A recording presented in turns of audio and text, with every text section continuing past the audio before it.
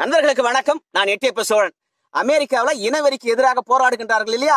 அவங்க வந்து பாத்தீங்கன்னா இப்போ இயேசுநாதர் சிலையும் அவங்களுடைய தாயார் கன்னி மேரி மாதா சிலையும் அகற்றி கொண்டு வராங்க. ஏன் அகற்றுறாங்க? என்ன காரணம்? அப்படின்னு பார்க்கலாம். அதுக்கு முன்பாக என்னை பற்றி நான் ஒரு சின்ன இன்ட்ரோடக்ஷன் சொல்லிடுறேன். ஏனென்றால் உங்களுக்கு நீண்ட நாளாக ஒரு சந்தேகம் இருந்து கொண்டே இருக்கும். இல்லாத எதிர்பார்ப்பு இருந்து கொண்டே இருக்கும். பின்னாடி என்னப்பா செடி கொடிக்கு பக்கத்துல என்ன பேசுற? அப்படி இல்லைன்னா பின்னாடி தகரம் இருக்கு அதுக்கு நினை பேசுற. ஏன் உனக்கு வசதி இல்லையா அப்படின்னு கேட்டீங்கன்னா உண்மையாக எனக்கு வசதி இல்லை. ஏழ்மான ஏழ்மையானவன் தான். புரியுதுங்களா? பெரிய வீடுலாம் ஒன்றும் கிடையாது. பதிமூணு அடி நீட்டு பதினோரு அடி அகலம். இந்த சின்ன ஒரே ஒரு ரூமில் தான் நான் வசிக்கிறேன். ரெண்டு மகன்களுடன் என் மனைவி நானும் இருக்கிறோம். ரொம்ப ரொம்ப சிக்கனமான ரூமாக இருக்கிறதுனால எந்த ஒரு ஸ்டுடியோவும் அமைக்க முடியல. ஸ்டுடியோவுக்கான பணமும் கிடையாது. புரியுதுங்களா? ஃபேஸ்புக்கில் நான் ஃபேமஸ் யூடியூப்பில் நான் ஃபேமஸ் ஆனால் கையில் பணமே கிடையாது. அதனால தான் கழனியில் வேலை செய்கிறோம் வேலை செஞ்ச முடிஞ்ச உடனே ஒரு மரத்தடியாண்ட உட்காந்துன்னு உங்களுக்கு கருத்து சொல்ல வரேன். கலர் கலராக படங்கள் வேணுமா? இல்லை கருத்து வேணுமா? தயவு செய்து இந்த ஏழை சொல்வதை காதல வாங்கி கமெண்ட் பாக்ஸ்ல தாங்க. ஐயா இந்த மாதிரி ஒரு மாற்றங்கள் பண்ணா நல்லா இருக்கும். ஏண்டாப்பா இத மாதிரி ஒரு பண்ணக்கூடாதா? அப்படின்னு சொன்னா அந்த கருத்துக்களை கேட்டு அதற்கு ஒரு மாற்றத்துக்கு ஒரு வாய்ப்பு இருக்கும். நான் மாட்டின கண்ணை கட்டின கிணத்துல விழுந்த மாதிரி பேசி கிடக்கிறதும் நீங்க அமைதியா பார்த்துட்டு செல்வதும் எனக்கு வேதனையாக இருக்கிறது. ஏழை சொல்ல அம்பலம் ஏறாதுன்னு சொல்றாங்க. உங்களுக்கு கூடமா ஏறாது. சரிங்க இது வரைக்கும் நம்முடைய சேனலை சப்ஸ்கிரைப் செய்யலாம். சப்ஸ்கிரைப் செய்யுங்க. என்னுடைய வீடியோவை பாருங்க ஷேர் பண்ணுங்க தயவு செய்து சொல்றேன் கமெண்ட் பண்ணுங்க. அந்த கமாண்ட் தான் யூடியூப் சேனலை வந்து மேம்படுத்துவதற்கான ஒரு வாய்ப்பாக இருக்கும். இப்ப விஷயத்துக்குள்ள போலாம். இப்போ மினிசோட்டா மாகாணம் மினி போலீஸ் என்ற ஒரு ஊர். இந்த ஊர்ல ஜான் பிளைடுன்னு ஒருத்தர் இருக்காரு. அவர் என்ன பண்ணாரா கள்ள நோட்டை வச்சுக்கிட்டு போய் உணவுப் பொருள் வாங்கினாராம். உடனே காவல்துறையினருக்கு தகவல் கிடைக்குது. அந்த காவல்துறையினர் வந்து அந்த ஜாயின் பிளைடை வந்து கைது பண்ண பாக்குறாங்க. அது கைது பண்றதுக்கான ஒத்துழைக்கல. நான் நல்ல பணம் கொடுத்து தான் வாங்கினேன் அப்படின்னு சொல்ல முயற்சிக்கிறார். ஆனா காவல்துறையினர் விடவே மாட்டுறாங்க வெள்ளையனுக்கு எப்பவுமே சரி ஒரு இன வெறி இருக்குது இன திமிர் இருக்குது. உலகத்துல எல்லா நாட்டிலையும் இந்த இனப்பற்று இருக்க தான் செய்யுது. புரியுதா? தமிழகத்துல பாத்தீங்கன்னா தமிழ் என்ற இனப்பற்று இருக்கிறது. ஆந்திராவுக்கு போனா தெலுங்கன் என்ற இனப்பற்று இருக்கிறது.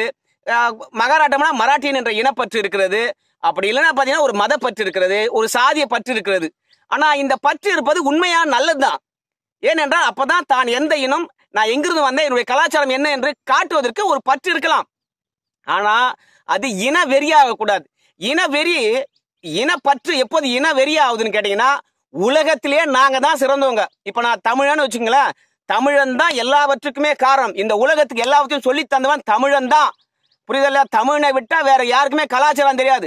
தமிழன் தான் ஃபர்ஸ்ட் அப்படின்னு நினைச்சா அது இனவெறி. ஆனா எல்லா இனங்களும் சிறந்தது அவங்கவுங்க அடையாளத்துக்காக இனப்பற்று கொண்டிருக்கின்றார்கள் என்று சொன்னா அது இனவரி கிடையாது. ஆனா ஐரோப்பால இருக்கிற வெள்ளையனுக்கு எல்லாம் என்ன தெரியுமா? தான் தான் அறிவாளி தான் தான் ஆள பிறந்தவன். மத்தவன் எல்லாம் எனக்கு அடிமையாக இருக்க வேண்டும் என்பதுதான் அவனுடைய எண்ணம். இன்னைக்கு வரைக்கும் அமெரிக்காவில் கருப்பர்கள் என்றால் தனக்கு சேவகம் செய்ய வருவங்க. அப்படி இல்லைன்னா குரங்கு என்று தான் அவங்க நினைக்கிறாங்க. அதனால தான் இந்த ஜாயிட் பிளைடு இருக்கார் இல்லையா? அவர் வந்து ஐயோ எனக்கு மூச்சு திணறுது. தயவு செய்து என்னை விடுங்க விடுங்கன்னு கேட்கும்போது கூட அந்த வெள்ளைய போலீஸ் வந்து எங்க தப்பிச்சு ஓடுவான்னு நினைச்சானா தெரியல. கழுத்துல காலை வச்சு அழுத்தின மூச்சு திணறி அவர் இறந்து போறார். அப்படி இறந்து போன பிறகு அந்த வீடியோ சமூக வலைத்தளங்களில் வைரல் ஆகுது. அமெரிக்கா முழுவதும் பரவுது. அது இல்லாம ஐரோப்பா முழுவதும் பரவுது. ஆப்பிரிக்கா முழுவதும் பரவுது. அப்படி பரவன உடனே எல்லா கருப்பர்களும் ஒன்று சேர்ந்து தயவு செய்து கருப்பர்களை வாழ விடுங்க. இனவெறியை விடுங்க அப்படின்னு போராட்டம் பண்றாங்க. அந்த போராட்டத்தினுடைய உச்சம் என்னன்னு கேட்டீங்கன்னா அமெரிக்காவில் அடிமை முறையை யாரெல்லாம் வளர்த்தாங்களோ அவங்க சிலையெல்லாம் முதல்ல அகற்று. அப்படின்னு சொல்லி அமெரிக்கா இருக்கின்ற எல்லா சிலையும் அகற்றிட்டு வராங்க. அன்னைக்கு கொலம்பஸ் சிலையை அகற்றினாங்க. அவர் தான் முதல் முதலாக அமெரிக்காவுக்கு வர்றார். அவர் தான் அடிமை முறையை ஆப்பிரிக்காவில் வந்து மாடு ஆடுகள் போல ஓட்டி வந்தாரு. அதனால அமெரிக்காவை முதல் முதல் வந்த கொலம்பஸ் சிலையை அகற்றுங்க. அதற்கு பிறகு கடைசியில தியோடோர் ரூஸ்வெல்ட் இருக்கார் இல்லையா? அவந்த அமெரிக்கா முன்னாள் அதிபர் சிலை வரைக்கும் வந்து அகற்றுறாங்க. காரணம் என்னன்னு கேட்டீங்கன்னா இவங்க எல்லாம் பாத்தீங்கன்னா அடிமை முறையை தூக்கி பிடித்தவர்கள். இந்த சிலையெல்லாம் தேவையே இல்லை. அப்படின்னு சொல்லிட்டு அமெரிக்காவில் ஒரு கோஷம் வந்து அமெரிக்காவில் எந்தெந்த மாகாணத்தில் இருக்குதோ ஆனா இந்த கலவரம் பரவுனது எங்க? மினிசோட்டா மாகாணம். அதுவும் ஒரு நகர் மினி போலீஸ் என்ற ஒரு நகரில் தொடங்கின விஷயம். அமெரிக்கா முழுவதும் காட்டு தீயாக பரவி இன்னைக்கு வரைக்கும் போராட்டம் நடக்குது. இன்னைக்கு வரைக்கும் போராட்டம் நடக்குது. அதுல போராட்டத்தில் போராட்டத்தை முன்னின்று நடத்துகின்ற சுவாங்கிங் அப்படின்ற ஒரு போராட்டக்காரர். சுவாங்கிங் அப்படின்னு ஒரு போராட்டக்காரர் முன்னின் நின்று போராட்டம் நடத்துறது அவர் என்ன சொல்லியிருக்குன்னு கேட்டீங்கன்னா நம்ம எல்லா சிலையும் அகற்றுவதற்கு முன்பாக இங்க வெள்ளை இயேசு சிலை இருக்குது இல்லையா? அந்த வெள்ளை இயேசு சிலையும் அவருடைய வெள்ளை தாயார் சிலையும் முதல்ல அமெரிக்கா முழுவதும் இருக்கிற இல்ல உலகம் முழுவதும் இருக்கின்ற இந்த சிலையை முதல்ல அகற்றணும். ஏனென்றால் வெள்ளையர்கள் நம்மை அடிமைப்படுத்தின முறைக்கு அடையாளமா தெரியுது. ஒவ்வொரு வீட்டு ஜன்னல்லையும் ஒவ்வொரு வீட்டு பூஜை அறையிலையும் அப்படிலாம் ஒவ்வொரு சர்ச்சிலையும் ஒவ்வொரு நடுத்தெருவிலையும் இருக்கின்ற வெள்ளை இயேசு சிலை வெள்ளை மேர மேதா சிலை கண்டிப்பா அகற்றியே ஆகணும் அப்படின்னு சொல்லிட்டு அமெரிக்காவில் ஒரு மிகப்பெரிய புரட்சியை ஏற்பட்டிருக்குது. இதுல என்ன ஒரு பிரச்சனை கேட்டீங்கன்னா கருப்பர்கள் வாழ வேண்டும் கருப்பர்களை துன்புறுத்தாதீர்கள் கருப்பர்களுக்கு ஆதரவாக தான் இவங்க- இந்த சுவான் கிங் கருத்து தெரிவிச்சிருக்கார். ஆனா அந்த கருப்பர்களே பாத்தீங்கன்னா இவருடைய கருத்துக்கு எதிர்ப்பு தெரிவிக்கிறாங்க. என்னங்க கடைசியில கடவுள் மேலேயே கை வச்சிங்க அப்படின்னு. அதுக்கு அவர் கருத்து சொல்றாரு இந்த வெள்ளை நிறவரி என்பது எந்த வடிவத்திலும் அனுமதிக்கவே கூடாது. காரணம் என்னவென்றால் கடவுள் வெள்ளையாத்தான் இருப்பார் என்பதை நம்ம மனசுல திணிக்கிறாங்க. இந்த கடவுள் தான் ஒஸ்டி என்று நம்ம கருப்பர் நாட்டுல வந்து இவங்க சொல்ல என்ன அனுமதி இருக்கிறது? இது கருப்பர்கள் தேசம் அமெரிக்கா. பூர்வ குடிகள் சிந்தித்து பார் நம்ம மொழி இருக்கிறதா? இந்த ஐரோப்பியர்கள் அழித்தார்கள். நம்முடைய கலாச்சாரம் இருக்கிறதா? இந்த இந்த வெள்ளைக்காரர்கள் அழித்தார்கள். நம்முடைய உணவு முறை இருக்கிறதா அமெரிக்காவில். இந்த வெள்ளையர்கள் அழித்தார்கள் புரியுதா இல்லைங்களா? திருமண முறையிலிருந்து உணவு முறையிலிருந்து மொழியிலிருந்து நம்முடைய கலாச்சாரத்திலிருந்து எல்லாவற்றும் ஐரோப்பியர்கள் வந்து அழித்தார்கள். அதுக்கு காரணம் இந்த வெள்ளை இயேசுவும் வெள்ளை மேரி மாதாவும் தான். முதல்ல உங்க வீட்டு ஜன்னல்ல இருந்து நடு வாசல் இருந்து நடு தெருவில் இருந்து ஒவ்வொரு தேவாலயத்திலிருந்து இந்த வெள்ளை இயேசு சிலையும் மேரி மாதா வெள்ளை மேரி மாதா சிலையும் அகற்றப்பட வேண்டும் என்று உறுதியாக நின்று குரல் கொடுத்து கொண்டிருக்கின்றார்கள். அதற்கு பதிலாக இயேசு அவர்களை கருப்பாக செய்து வைங்க. அப்பதான் நம்ம கருப்பர்களுக்கு என்ன மாதிரியான துரோகத்தை செய்திருக்கும் என்று புரியும். இந்த நாடு யாருக்கான நாடு என்று இந்த வெள்ளையர்கள் புரிந்து கொள்வார்கள். இத்தனை நா- ஆண்டு காலம் ஆகி போய்விட்டது. இன்னும் கருப்பர்களை குரங்கு என்று விமர்சிக்கிற நிலை இருக்கிறது. இந்த நிலை இந்த மாதிரி வெள்ளை இயேசு சிலையும் வெள்ளை மேரி மாதா சிலையும் இருப்பதும் ஒரு காரணம் தான் முழுவதும் நீக்கப்பட வேண்டும் அமெரிக்கா முழுவதும் என்று அவர் கோஷமிட்டிருக்கின்றார். அந்த கோஷம் வெற்றி அடைந்திருக்கிறது. பல சிலைகள் நம்ம காணொலியில் பார்க்கும்போது பார்த்தீங்கன்னா கீழே விழுந்து கொண்டிருக்குது அந்த சிலைகள்.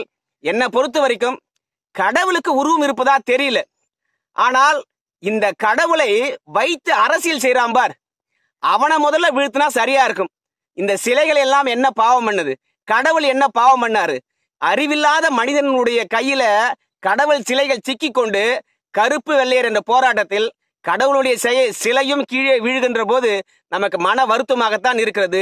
ஏன் கடவுள் சிலை கீழே விழுது அப்படின்னு நினைச்சீங்கன்னா அந்த அளவுக்கு அங்க கருப்பினத்தவர் பாதிக்கப்பட்டிருக்கின்றார்கள் என்பது மட்டும் மிக மிக அறியப்பட ஒன்று. லே- அடுத்த கட்டம் இந்தியாவுக்கு தான் அது வரப்போகுது. புரியுதுங்களா? இங்க சாதி இருக்குது சாதி இருக்கு சாதி இருக்குதுன்னு சொல்லி சொல்லி சொல்லி இந்த இடத்தில் ஒட்டுமொத்த இந்து மதத்தையும் அழிக்க வேண்டும் என்று நினைக்கின்ற மோகன் சி. லாசரஸ் எல்லாம் என்ன சொல்றாங்க தெரியுமா? இந்த கடவுள் தான் சிறந்தவர். இவர்தான் எல்லாவற்றிலிருந்து விடுவிக்க போகின்றார். நீங்கள் வணங்குவது அத்தனையும் சாத்தான். தமிழ்நாட்டில் தான் உயர உயர சாத்தானுக்கு வீடு இருக்கிறது என்று தைரியமாக சொல்லி ஐரோப்பிய கடவுளை இங்கு வந்து இறக்குமதி செய்கின்றார்.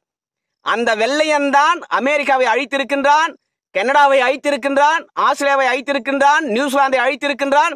கொஞ்சம் இந்த மோகன்சி லாரஸ் கொஞ்சம் சிந்திச்சு பார்த்தாருன்னா தெரியும். அமெரிக்காவில் பூர்வகுடி மக்கள் கிடையாது பூர்வக்குடி மொழி கிடையாது பூர்வகுடி கலாச்சாரம் கிடையாது. அந்த பூர்வகுடி மொழி எங்க போச்சு? சொல்லுங்க பார்க்கலாம். பூர்வகுடி உணவு கிடையாது. கனடாவில் இருக்குதா? பூர்வகுடி மொழி பூர்வகுடி மக்கள். ஆஸ்திரேலியாவில் இருக்குதா? ஆஸ்திரேலியாவில். பூர்வகுடி மக்கள் பூர்வகுடி உணவு பூர்வகுடி கலாச்சாரம். நியூசிலாந்தில் இருக்குதா? பூர்வகுட மொழி. இல்லை பூர்வகுடி உணவு.